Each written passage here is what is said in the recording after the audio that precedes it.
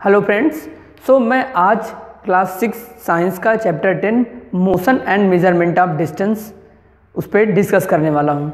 सो so, इस video में मैं इन सब पॉइंट पे डिस्कस करूँगा। Story of transport and how wide is this desk some measurement standard unit of measurement and correct measurement of length so आपकी book N है।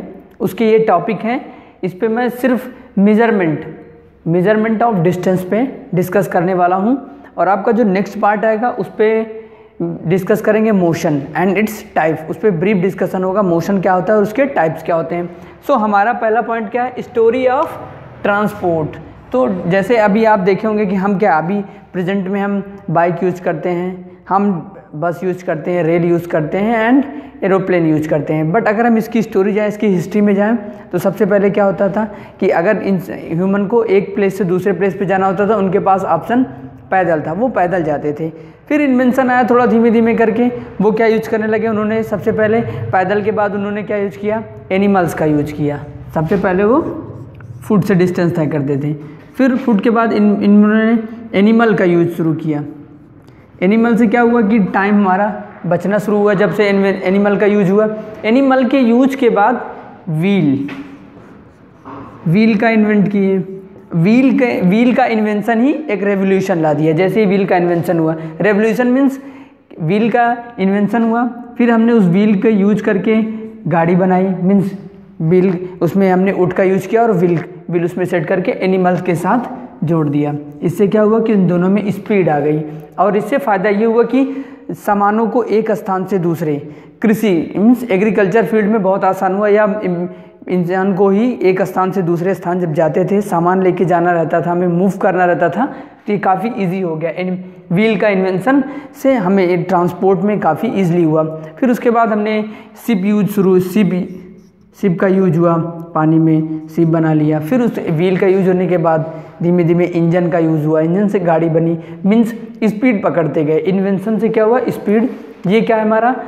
History of transport story means story of transport means foot फिर animal wheel उसके बाद SIP SIP के बाद engine का use हुआ, उससे गाड़ी बनी, फिर प्लेन बना साइकिल बनी मीन्स जो वर्तमान में हम देख रहे हैं जिन सारी चीज़ों को, हम वो सारी चीज़ें धीमे धीमे इन्वेंट हुई। अब टाइम टू टाइम अब तो आ रहा है। मेट्रो आ गई हाइपर लूप आने वाला मतलब स्पीड पे फोकस किया जा रहा है हम कम से कम टाइम में ज़्यादा से ज़्यादा डिस्टेंस को कवर कर लें यही है ट्रांसपोर्ट अब जैसे आने वाले टाइम में हम क्या पढ़ेंगे? मेट्रो भी हमारी हिस्ट्री हो जाएगी।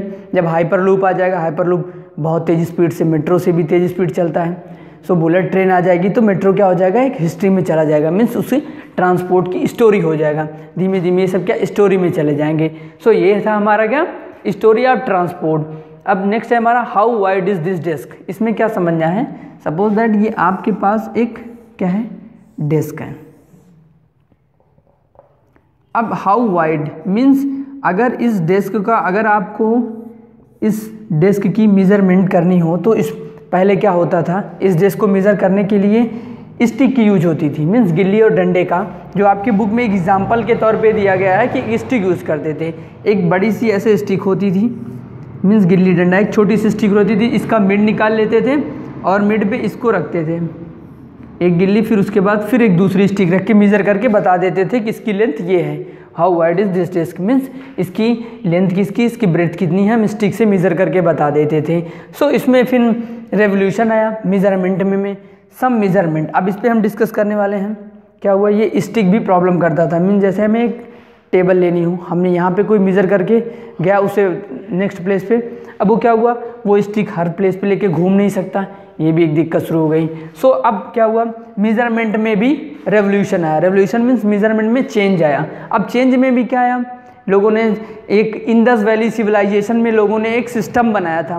पहले इसी से यूज़ करते थे स्टिक यूज़ करते थे या अनदर थिंग अपने आसपास जो होता था हम उसका यूज़ करते थे। इंदस वैली सिविलाइजेशन में एक रेवोल्यूशन है वो क्या करते थे? वो हैंड स्पैन का यूज़ करते थे। मीन्स ये जो आपकी हाथ के बीच का हमारे ये इस और इस उंगली फिंगर्स के बीच की जो डिस्टेंस है, इसे बोलते हैं हैंड्स पैम तो हैंड्स पैम यूज़ किया जाता था, उसको यूज़ करते थे। फिर उन क्यूबिट लाया। क्यूबिट मीन्स हमारे हैंड की ये डिस्टेंस और ये डिस्टेंस इससे मेज़र किया जाता था चीज़ों को। क्यूबिट आया। फिर धीमे धीमे क्या हुआ? मेज़रमेंट में रेवोल्यूशन आया। इससे भी प्रॉब्लम होती थी। किसी का हाथ बड़ा है, किसी का छोटा है, इसमें भी प्रॉब्लम आने लगी। अगर हमें एक प्लेस से दूसरे प्लेस पे किसी डिस्टेंस को मेज़र करना हो बड़ी डिस्टेंस को मेज़र करना हो सो बड़ी डिस्टेंस को मेज़र करने के लिए क्या होता है? फुट का यूज़ करते थे, पैर का यूज़ करके बड़ी डिस्टेंस को मेज़र करते थे। इसमें भी प्रॉब्लम आने लगा। सो फिर क्या हुआ कि फ्रेंच इन 1719 फ्रेंच कंट्री ने एक मेट्रिक सिस्टम बनाया। किस सन में? 1719 में फ्रेंच फ्रेंच कंट्री ने एक मेट्रिक सिस्टम बनाया। उस मेट्रिक सिस्टम में एक स्केल बनाई। मेट्रिक सिस्टम मीन्स क्या हुआ? मीटर बनाया। अब उस मीटर में क्या था? मीटर को एक डिसाइड किया गया कि one metre equal to hundred centimetre one metre equal to hundred centimetre decide किया गया मेट्रिक सिस्टम में। And ten centimetre equal to one M M and then उसके बाद डिसाइड किया गया कि one metre equal to how many M M one thousand M M ये क्या बना? फ्रेंच कंट्री ने इस मीट्रिक सिस्टम का डिसीज़न लिया और यह मेट्रिक सिस्टम इंटरनेशनल सिस्टम बनाया गया। मीन्स अगर हम एक कंट्री से दूसरे कंट्री में अगर हम मूव करते हैं तो वहाँ पे भी इसका फॉलोअप किया जाएगा। फिर क्लॉथ को मेज़र करने के लिए हमने मेट्रिक मीटर की एक रॉड बनाई। मीन्स हमने क्या बनाया अब हम देखेंगे कि उस स्केल बनाएगी। हम थोड़ा सा स्केल से समझ लेते हैं स्केल का सिस्टम क्या था। हम स्केल लेंगे और उस स्केल से मीज़र देखेंगे कि इस स्केल में होता क्या क्या है। जैसे ये हमारे पास क्या है? स्केल है। स्केल में क्या है? सेंटीमीटर है। How long this scale zero to one यहाँ से ज़ीरो शुरू हुआ। यहाँ पे एंड है। मीन्स थर्टी सेंटीमीटर की ये स्केल है। कितनी इसके है? वन टू थर्टी सेंटीमीटर इसी स्केल की लेंथ स्केल बनाई गई मेट्रिक सिस्टम के तहत ये स्केल डिज़ाइन की गई। इसकी लेंथ क्या है? वन टू थर्ड सेंटीमीटर अब इस एक मीन्स वन सेंटीमीटर से टू सेंटीमीटर के बीच इसके जो काउंट होते हैं, उसको बोला जाता है एम mm. ये हमारा क्या है? छोटी डिस्टेंस को मेज़र करने के लिए हमने सेंटीमीटर बनाया। फिर उसके बाद हमें इन्वेंट क्या किया? हमने मीटर बनाया। मीटर उसके मेट्रिक सिस्टम डिज़ाइन के था। बड़े डिस्टेंस के लिए हम मीटर का यूज़ करते थे। जैसे फिर क्या हुआ? मीटर छोटी मीन्स जैसे छोटी चीज़ें थी हमारे पास सेंटीमीटर फिर उससे बड़ी चीज़ें मीटर डिज़ाइन कर लेते थे।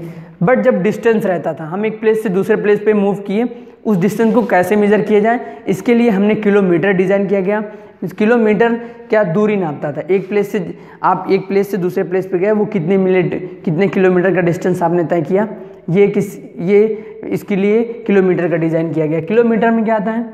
जैसे वन किलोमीटर इक्वल टू कितना मीटर वन थाउज़ेंड मीटर फिर हमने धीमे धीमे उसको एक समराइज करते गए। हमने सबके लिए क्लॉथ मेज़र करने के लिए मीटर रॉड बनाई। हर चीज़ के लिए एक पैटर्न डिसाइड किया गया छोटी चीज़ों को मेज़र करने के लिए। हमने उसे तरह तरह के इंस्ट्रूमेंट बनाए। जैसे मीटर, हमने मीज़र मेजरिंग इंस्ट्रूमेंट के लिए अब प्रेजेंट में क्या यूज़ करते हैं हम? मीटर टेप का इस्तेमाल करते हैं। इससे हम क्या?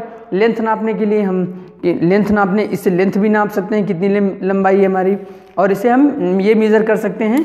कि कितने मीटर? जैसे इस बोर्ड को अगर हमें मेज़र करना हो तो क्या होगा? इसमें सेंटीमीटर स्केल का तो यूज़ करेंगे नहीं। इसमें आसानी से ये क्या होगा? ये हमारा मेजरिंग इंस्ट्रूमेंट बहुत ही आसानी से। अगर हमें इसकी ब्रिथ नापनी हो देन हम बहुत आ, आसानी से इसकी ब्रिथ में मेज़र कर सकते हैं। बट यही चीज़ हमें अगर सेंटीमीटर स्केल से मेज़र करनी हो इससे काफ़ी डिफ़िकल्टीज आएगी। सो हमने क्या किया? सब चीज़ का एक पैटर्न बनाया छोटी चीज़ों को मेज़र करने के लिए। सेंटीमीटर स्केल और बहुत सारी सूक्ष्म चीज़ों को मेज़र करने के लिए एम mm बना दिया। लॉन्ग के लिए हमने मीटर बना दी। उससे भी ज़्यादा लॉन्ग के लिए हमने किलोमीटर बना दिया। सो ये हमारा क्या था? इस स्टैंडर्ड यूनिट ऑफ़ मेज़रमेंट ये सेंटीमीटर मीटर किलोमीटर ये क्या है? मेज़रमेंट का स्टैंडर्ड यूनिट अब क्या करना है? Correct measurement length correct measurement of length इसमें हमें ये ध्यान रखना है, जैसे कि सपोज़ दैट ये आपकी एक डेस्क बनी थी, इसको अगर मुझे मेज़र करना हो तो इसमें करेक्ट में क्या होगा कि हमें ध्यान रखना है स्केल स्ट्रेट रखनी चाहिए। स्केल क्या है? स्ट्रेट रखनी। जैसे इसको मेज़र करना ये क्या है? 18 अप्रॉक्स 18 सेंटीमीटर इसकी क्या है? ब्रेथ है।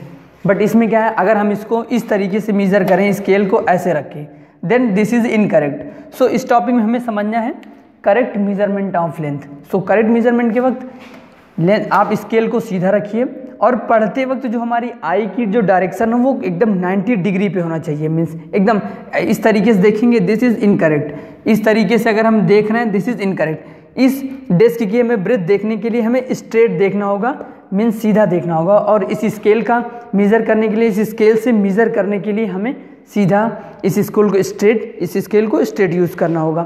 सो so, ये हमारा क्या था? Correct measurement of length so so, मैंने इस वीडियो में डिस्कस कर लिया transport and how wide this desk and some measurement unit of measurement and correct measurement of length so next में हम क्या पढ़ने वाले हैं? मोशन मोशन क्या होता है? What is motion and types of motion so I hope आपके डाउट्स क्लियर हो गए होंगे। सो so, वीडियो को लाइक करें एंड अपने क्लासमेट के साथ ज़रूर शेयर करें। I will be right back with next video keep watching study guard thank you so much